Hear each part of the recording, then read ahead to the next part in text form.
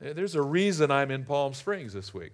And, and the reason is, is because there's some business guys in our church who've been blessed, blessed enough to put me up in their beautiful houses. Somebody said, Pastor Wendell, do you think you'll ever get a house, you know, down here in the desert? And I said, why should I? I'd live with these guys. I just stay with them. They pay the taxes. Glory to God. Is this a good plan? Amen. Somebody paid for my golf today. Thank you, William. And uh, et cetera, et cetera. No, the Lord is good. But there's a purpose in that. There's a purpose in my health. There's a purpose in, in my refreshing. I need a little color on my face, uh, whatever it may be. And then for me to be here with you. I, I, I believe Romans 8 28 that all things work together for good. And because of our relationship, you know, I'm here two weeks in a row, which is unusual. I don't think I'll make it three. I would have to explain that to my staff. But uh, I could send a video. But. Uh, uh, you know, and, and, all of these kinds of things, God just works all these things together because He's got a plan. Amen? Amen. Hallelujah. Praise His holy name. Uh, that was just, that's a good word. I got one more for you. Can I, can I take you to the Bible and, and uh, share a scripture with you tonight? This is in Matthew chapter 11. Have a Bible or look on with somebody. And uh, do we, did we do this last week? Did we do, put scriptures up? Okay, we'll do that. So Matthew 11 uh, guys, I'm using New King James, Matthew 11, 28 to 30. The last three verses of Matthew's Gospel, chapter 11, starting in verse 28. Come to me, all you who labor and are heavy laden, and I will give you rest. Take my yoke upon you and learn from me, for I am gentle and lowly in heart, and you will find rest for your souls. For my yoke is easy. Come on, everybody. Say it with me. My yoke is easy and my burden is light. Amen. I, I want to read this out of a couple of other translations. This is the Amplified Bible. I don't know if you have this one up on the screen, but I'll read it to you. Amplified Bible says, Come to me, all you who labor and are heavy laden and overburdened, and I will cause you to rest. I will ease and relieve and refresh your souls. Take my yoke upon you and learn of me, for I am gentle, meek, humble, lowly in heart, and you will find rest, relief, and ease, and refreshment, and recreation, and blessed quiet for your souls. For my yoke is wholesome, useful, good, not harsh, hard, sharp, or pressing, but comfortable, gracious, and pleasant.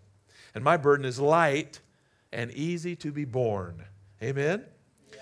Then the Message Bible, you got to love Eugene Peterson classic guy. yeah.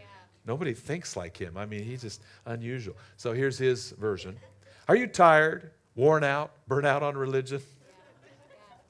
It sounds like a vitamin commercial, you know? Anybody remember the Lucy show, Vita Vegemin? Anybody say you kind of got a vision of that? I don't Vita Vegemin. and she keeps drinking it and drinking it as she's doing the commercial. Let's do one more shoot. And pretty soon she's just Anyway, okay. Are you tired, poofed out? no, I'm just kidding.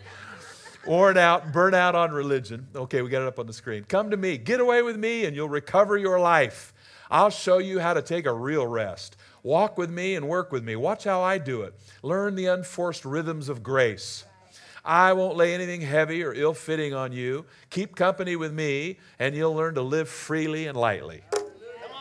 Amen. Now, I believe that there are way too many believers who have made it hard to be a Christian. Like it's like this is tough, you know. I'm I'm serving the Lord. Pastor, pray for me. You know, I, you know. Last week it was, I appreciated your message, and I'm I'm trying to smile more. But oh, you know, I I, I, I, had a tough week. the devil personally was after me all week. He came to my house, you know and you know, and we just get we get this uh, complex, you know, like oh man, the devil's out to steal my identity, you know, and uh, he's really, really on me. You know, the devil. This is one thing you you got to remember and you got to appreciate. We we serve a great big God and we resist a very little bitty devil. Amen. Right. And you need to keep that perspective and don't get the two mixed up. And you need to realize that the devil is not omnipresent. The devil is not omniscient. The devil is not omnipotent. He doesn't know everything that's going on. And by the way, it, it's, uh, it, it's undoubtedly probably almost never him personally yeah. tempting you. We call it the devil, and even the Bible does. But he has representatives, you know. And there's only so many demons to go around. You know, this is literally true. And uh, you're, you're not always, they're not going to be a demon harassing you every day.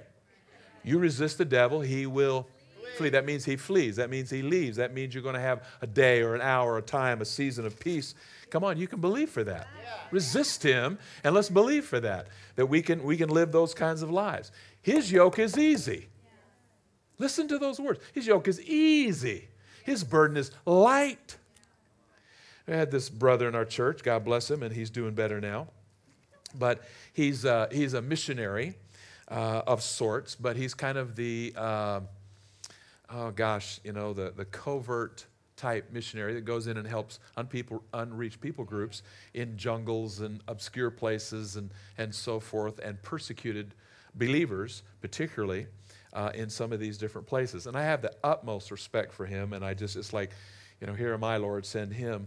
And uh, I, am so thrilled that he's doing it and that he's part of our church. And so we pray for him and cover him and everything else. But uh, you know, he's, he's addressing the issues of persecuted, harassed uh, people in horrible circumstances and situations, really, really bad. Well, you can imagine, you know, if, if you were doing that day in and day out or every month or so, he's traveling all around the world. So he's got a job back at home, but uh, out traveling and, and doing some of this stuff. And the stuff he sees and the suffering that, that you know, he's facing with these people, it, could be a little heavy on you, you know?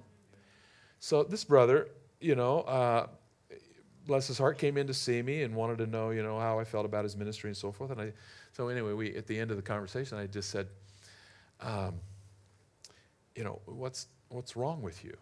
Why are you so unhappy? And he looked at me, you know, okay, well, I'm I'm not unhappy. I I I have the joy of the Lord. I said, well, you know, nobody would ever know it. And I said, you know, you don't show it on your face. And I said, you know, it's a problem. And, and I said, uh, you know, I, I want to encourage you that, uh, you know, you need to rejoice in the Lord. I give you all the scriptures. And he even started to smile, you know, while he was sitting in my office. And I said, honestly, I said, you need to work on it. You need to let, let it shine on your countenance. And, and you need to, you know, to overcome this kind of stuff. I said, it's not that hard what you're doing. Well, you know, I deal with a, a lot of heavy situations and people who are being persecuted. I said, yeah, and they need joy. You're right. I mean, they need the presence of God, and His presence is fullness of joy. So I said, if, if you're going to give them good news, you need to show it and you need to express it and so forth and all those kind of things. Well, and, and he's doing better, and he's working on it. But I mean, even in church, I'll be looking at him, you know, he, hmm, you know. And nowadays, it's kind of gone to a hmm, you know, it's better. And, uh, you know, I, I still don't look at him a lot, but, you know, it's, it's, uh, it's all right. You know, he, he's, he's coming around.